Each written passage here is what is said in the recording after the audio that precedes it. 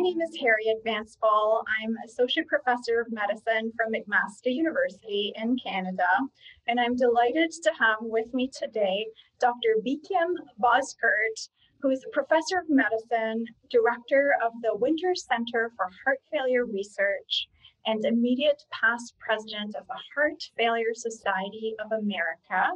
And we are here to discuss the new universal definition and classification of heart failure. Welcome, Dr. Bozkurt.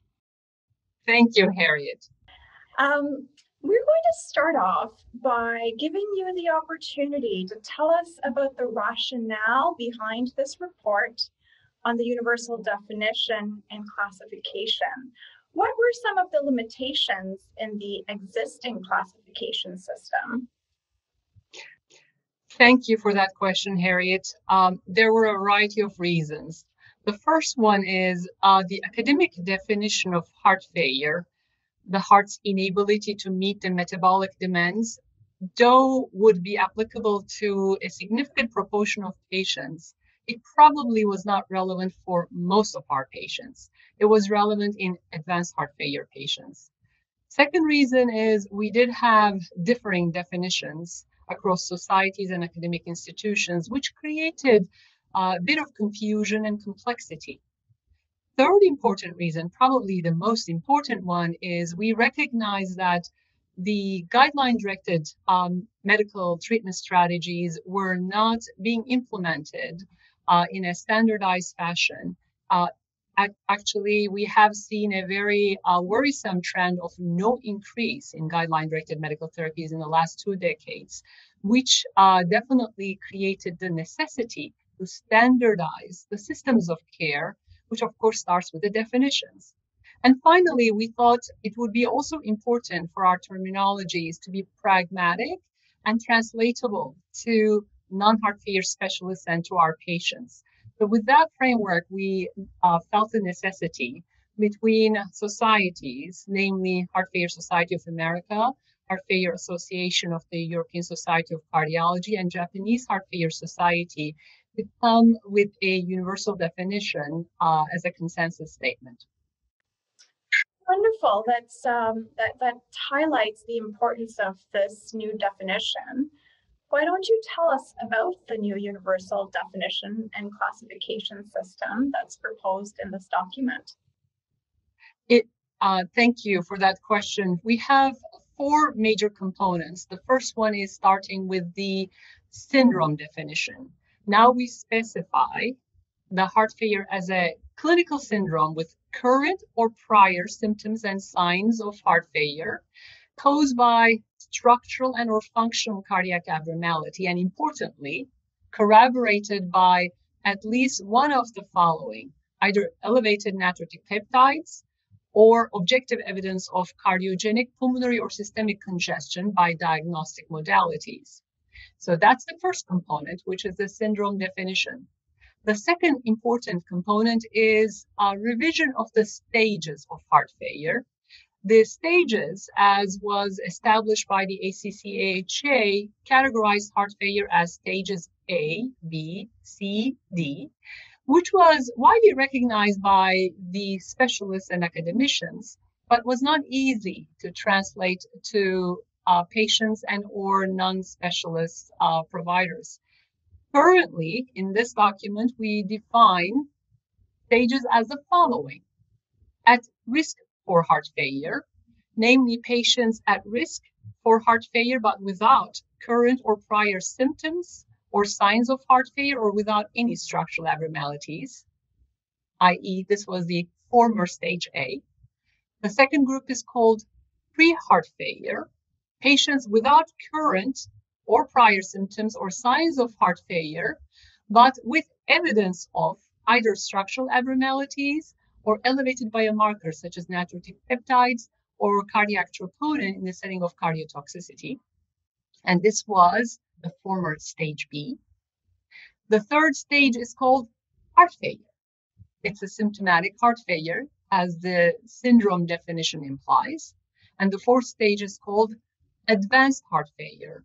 Uh, severe symptoms or signs of heart failure at risk or with uh, requiring recurring, recurrent hospitalizations which is the former stage D. So in essence, the stages are very similar to the former ABCD stages, but has the nomenclature of at risk, pre heart failure, very similar to what pre-cancer um, was able to establish, being able to translate where the patients are in terms of stages, heart failure, and then advanced heart failure.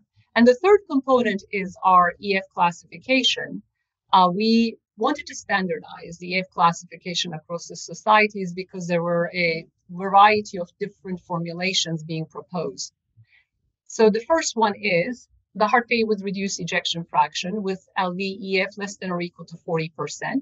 The second category is heart failure with mildly reduced ejection fraction with EF between 41 and 49. The third category is heart failure with preserved ejection fraction uh, with ejection fraction uh, greater than or equal to 50%. And the last component is the last classification is heart failure with improved ejection fraction with heart failure with a baseline ejection fraction less than or equal to 40%, with a more than or equal to 10% increase from baseline, with the subsequent EF being more than 40%. We did not call this category recovered EF because it's very rare for the heart to um, uh, truly recover. No evidence of abnormality in the structural as well functional capacity. And thus we uh, use the terminology improved rather than recovered EF. Wonderful.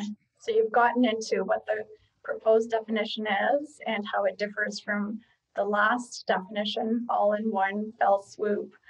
Where do you think the role of phenotypes fits into this classification system? So there is evidence that phenotypes may be more important prognosticators than EF alone although clinical trials have used the EF thresholds for trial inclusion and for testing the efficacy of drugs. But what are your thoughts on phenotypes? Critical. Three points about the phenotypes. First one is these broad categories are to standardize care.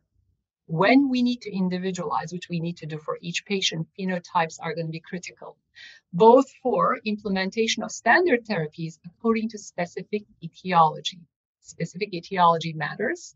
At that point, the phenotypes will provide us important information regarding the specific cause etiology, as well as specific phenotypes implying the downstream mediators and pathways that could be important targets for therapies. The second reason the phenotypes matter is the trajectory or the prognostication, which way, which path the patient is going uh, towards. This is important for the patient as well as for the clinician. The trajectory matters because the intensification of therapies will need to be done in a timely manner when we recognize patient is getting worse. Thus, the terminologies of the phenotypes will matter for example, we in this document um, identify um, the importance of certain concepts. Rather than using per- perhaps stable heart failure, we do advocate using persistent heart failure when the symptoms still are present, but the patient is not demonstrating worsening or improvement. That is persistent heart failure. Versus somebody who currently is asymptomatic but used to be symptomatic we would like to call that heart failure in remission.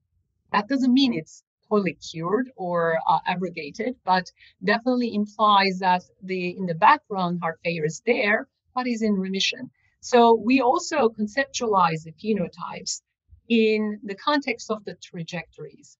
The third concept is probably the newer treatment strategies.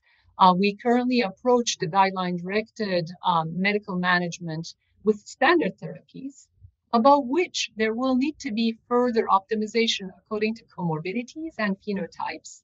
And thus, these newer treatment modalities will need to be individualized according to patients' um, characterization, uh, the phenotypes that could be done by phenomapping or scoring. And finally, for research, phenomapping is going to be very important for unmet needs and uh, HFpEF, dilated cardiomyopathies, where we are truly um, looking for more effective treatment strategies um, in both targeting the upstream as well as down, downstream mechanisms. I think for research, for registries, uh, phenotyping is going to be critical. Right, I really liked the changed nomenclature to improved uh, ejection fraction and certainly the concept of remission uh, is questioned by studies like the TRED-HF trial that showed that patients are persistently at risk and probably ought to be uh, continued on evidence-informed medical therapies to prevent a relapse. Um, thank you so much for your time today. We really enjoyed this discussion and we hope that you will come back to teach us some more about heart failure. Thank you for the opportunity. It was a great pleasure, Harriette, and I look forward to future opportunities as well. Thank you. Wonderful.